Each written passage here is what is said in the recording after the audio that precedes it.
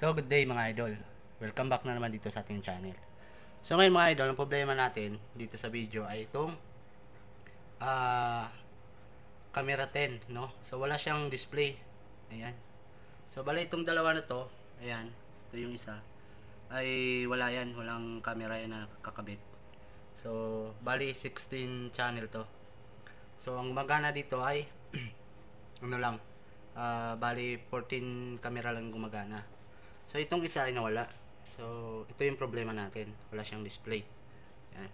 So, ngayon, ah i-share ko na lang din sa inyo para magkaroon kayo ng idea at baka makatulong din, no?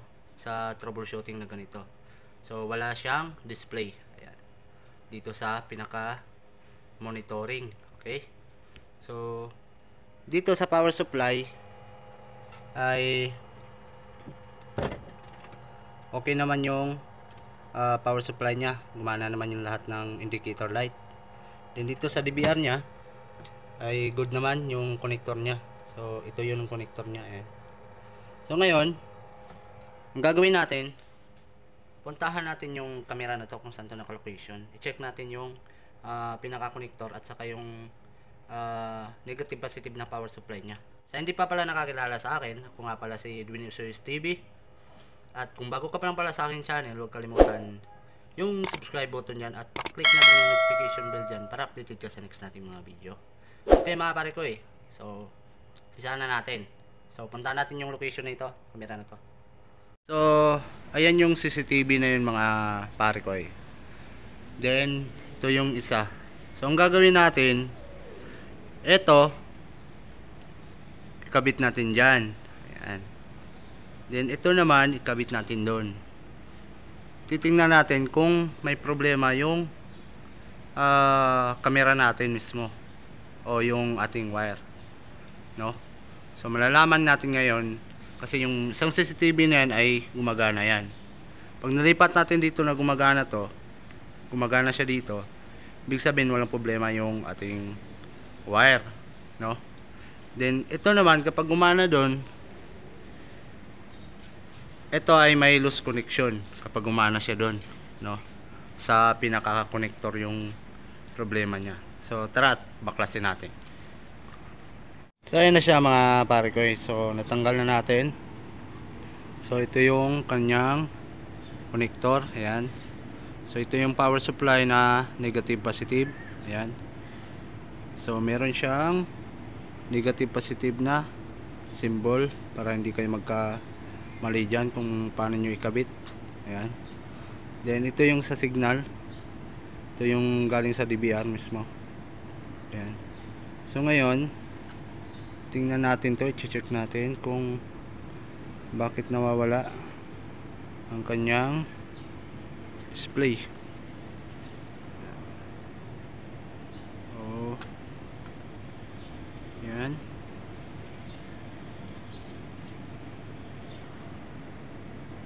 focus natin focus. Focus lang. So ngayon tanggalin natin to. Then ikabit natin siya dun. Dun. Then yung CCTV na yan ikabit natin dito. Para malaman natin kung alin yung may problema. Wire ba o ah, camera. Okay? Ganun lang yung troubleshooting natin kasimple. Ayan. So tanggalin ko muna at ilipat ko siya dun.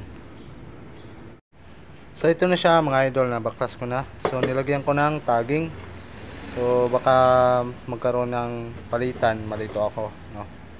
So nilagyan ko siya ng tagging para hindi tayo mawala na ito yung camera na may problema. So yung camera na yun ay good yun. Yan so katulad ko na sinabi ko ipalit natin yan dito. Okay? So yan lagay ko muna yung pinakahagdanan natin para makaakyat tayo dyan.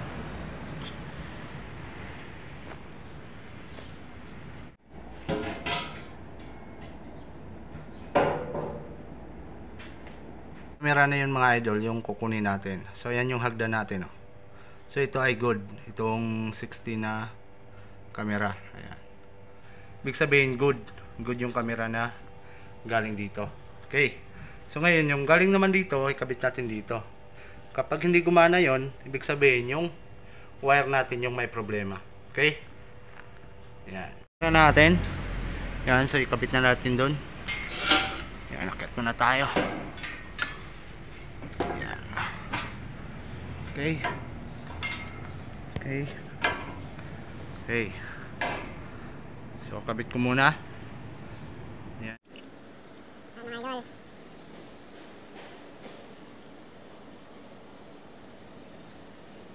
Kabit na natin. So ngayon, pansamantala muna natin tong tayo dito. Ayan. So, pupunta tayo dun. So, dito siya nakatutok. Ayan. So, balik tayo dun sa monitor niya mismo. Okay. Titingnan natin dun kung gumagana. Ngayon, magkaalaman na kung anong may problema. Wire ba o mismong camera. Okay. So kung wala sa wire at sa camera, palit tayo ng connector. Okay? Pero bago natin papalitan, obserbahan muna natin ng mga dalawang oras o apat na oras kung ah, hindi na nagbabago yung ano niya, yung display niya, hindi niya hindi na nawawala. Okay?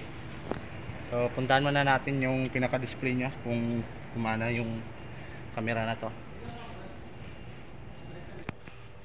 So ayan mga idol. So pinagpalit natin tong kamerang camera 10 at saka camera 16. So gumana. So ngayon ang gagawin na lang natin ay i-observe natin to ng mga ilang oras bago natin siya iayos ng posisyon.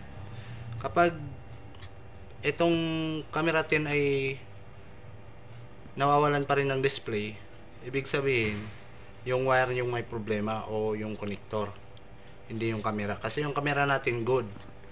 Ayan good. Okay. So ngayon ah, ang gagawin na lang natin observation na lang. Para malaman natin kung saan galing yung problema na yung kanina na nawawalan ng ah, display. Okay? So antay lang tayo ng mga dalawang oras.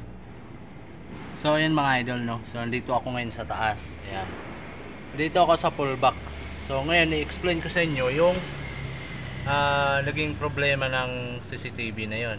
So, so dito pala sa full box yung pinaka problema.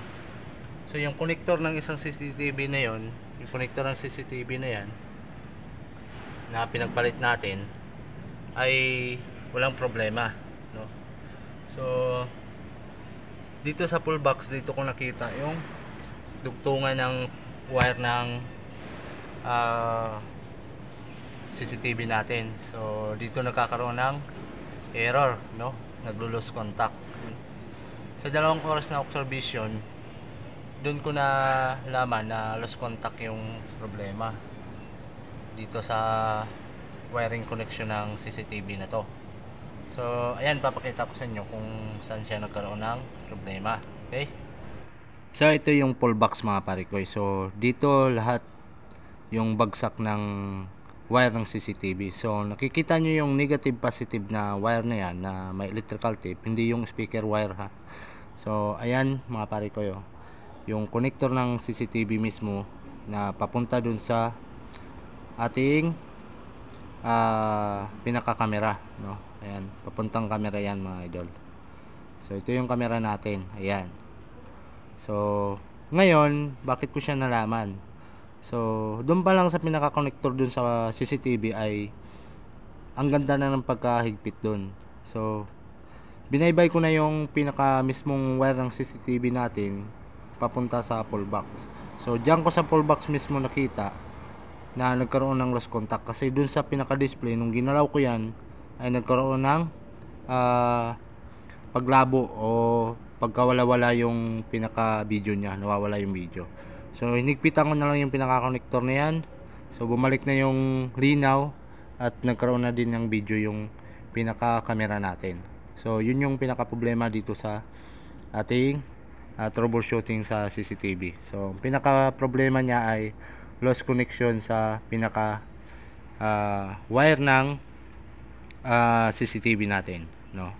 So, hanggang dito lang mga idol. So, naway nakatulong sa inyo itong video na to sa kunting troubleshooting.